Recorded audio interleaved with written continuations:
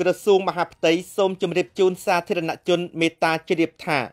រយៈពេលប៉ុន្មានថ្ងៃនេះក្រសួងបានសង្កេតឃើញថាគណៈបកនយោបាយខ្លះបាននឹងកំពុងធ្វើសកម្មភាពបង្ខិតបង្ខំឲ្យសមាជិកក្រុមប្រឹក្សាគុំសង្កាត់ដែលជាអ្នកបោះឆ្នោតនៅក្នុងការបោះឆ្នោតជ្រើសតាំងសមាជិកព្រឹទ្ធសភា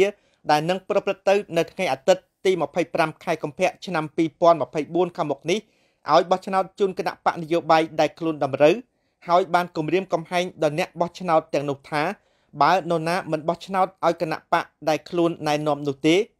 អ្នកមានសិទ្ធិបោះឆ្នោតទាំងនោះនឹងត្រូវប្រឈមនឹងការបណ្តេញចេញពីសមាជិកគណៈបកនិងដកតួនាទីពីសមាជិកក្រុមប្រឹក្សាឃុំសង្កាត់ឡាយោងតាមមាត្រា7នៃច្បាប់ស្តីពីការបោះឆ្នោតជ្រើសតាំងសមាជិកព្រឹទ្ធសភាបានកំណត់ឲ្យការបោះឆ្នោតជ្រើសតាំងសមាជិកព្រឹទ្ធសភាត្រូវធ្វើឡើងដោយអសកលមិនចំពោះ តាមវិធីជ្រើសរើសឆ្នោតជាសម្ងាត់ហេតុនេះការបង្ខិតបង្ខំគម្រាមកំហែងដល់អ្នកបោះឆ្នោតគឺជាការរំលោភបំពានដល់សិទ្ធិសេរីភាពរបស់អ្នកបោះឆ្នោតនៅក្នុងការសម្រេចចិត្តបោះឆ្នោតជ្រើសតាំងសមាជិកព្រឹទ្ធសភា ដែលធានាការពារដោយរដ្ឋធម្មនុញ្ញនៃព្រះរាជាណាចក្រកម្ពុជានិងច្បាប់ស្តីពីការបោះឆ្នោតជ្រើសតាំងសមាជិកព្រឹទ្ធសភាព្រមទាំងច្បាប់និងលិខិតបទដ្ឋានកតយុត្តពាក់ព័ន្ធ ម្យ៉ាងទៀតសកម្មភាពទាំងនេះធ្វើឲ្យចលាចលដល់អ្នកបោះឆ្នោតដែលជាសមាជិកក្រុមប្រឹក្សាឃុំសង្កាត់ដែលមានទូនីតិធានានៅការគ្រប់គ្រងនិងរៀបចំដំណើរការប្រព្រឹត្តទៅនៃរដ្ឋបាលឃុំសង្កាត់នីមួយៗដើម្បីដោះស្រាយបញ្ហានិងតម្រូវការចាំបាច់របស់ប្រជាពលរដ្ឋនៅក្នុងមូលដ្ឋាន ដែលបានកំណត់ដោយច្បាប់ស្តីពីការគ្រប់គ្រងរដ្ឋបាលឃុំសង្កាត់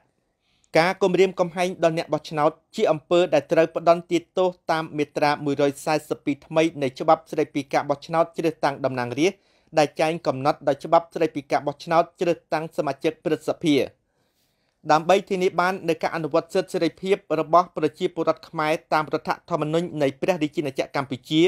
ព្រមទាំងធានាបាននូវនិរន្តរភាពនៃដំណើរការលទ្ធិប្រជាធិបតេយ្យនៅកម្ពុជា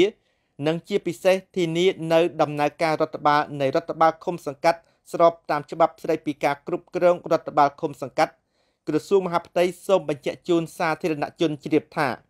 ក្រសួងសូមប្រឆាំងដាច់ខាតនៅរាល់សកម្មភាពបង្ខិតបង្ខំគំរាមកំហែងដល់អ្នកបោះឆ្នោតនិងសូមលើកទឹកចិត្តដល់អ្នកបោះឆ្នោតទាំងឡាយឲ្យប្រើប្រាស់សិទ្ធិសម្រេចចិត្តរបស់ខ្លួននៅក្នុងការបោះឆ្នោតខាងលើនេះស្របតាមរដ្ឋធម្មនុញ្ញនៃព្រះរាជាណាចក្រកម្ពុជា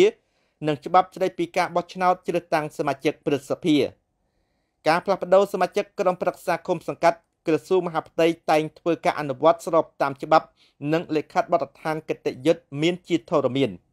អាស្រ័យហេតុនេះក្រសួងមហាផ្ទៃសូមអំពាវនាវដល់គ្រប់គណៈបកនយោបាយដែលបានចុះបញ្ជីត្រឹមត្រូវស្របតាមច្បាប់ស្តីពីគណៈបកនយោបាយសូមអនុវត្តឲ្យបានត្រឹមត្រូវតាមច្បាប់ និងលិខិតបទដ្ឋានកតយុត្តជាធរមាន ដោយជៀសវាងនឹងការធ្វើសកម្មភាពគំរាមកំហែងបង្ខិតបង្ខំដល់អ្នកបោះឆ្នោតដើម្បីធានាឲ្យការបោះឆ្នោតប្រព្រឹត្តទៅដោយសេរី ត្រឹមត្រូវនិងយុត្តិធម៌ស្របតាមគោលការណ៍លទ្ធិប្រជាធិបតេយ្យសេរីពហុបកដោយមានចែងក្នុងរដ្ឋធម្មនុញ្ញនៃព្រះរាជាណាចក្រកម្ពុជា ថ្ងៃប្រហ័ស6កើតខែមិញឆ្នាំថោះបញ្ញស័កពុទ្ធសករាជ2567 រាជធានីភ្នំពេញថ្ងៃទី15ខែកុម្ភៈឆ្នាំ2024